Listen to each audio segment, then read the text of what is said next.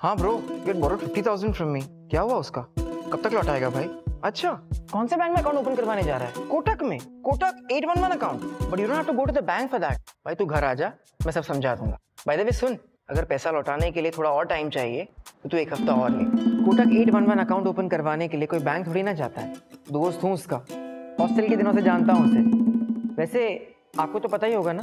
अरे video KYC घर बैठे बैठे आप अपने फ़ोन से अपना अकाउंट ओपन करवा सकते अरे भाई सिंपल है। If you are an Indian citizen currently staying in India then all you need to do is fill up the details on the Kotak 811 website have your Aadhaar card and original physical PAN card with you take a white blank paper and a black or a blue pen sit in a well lit room with good data network and request for video के बस फिर क्या A Kotak Bank official will get on a video call with you, do some basic checks, and then guide you through the process. And then पाँच minute में your zero balance Kotak eight one one account will be set up तो किस बात की देरी?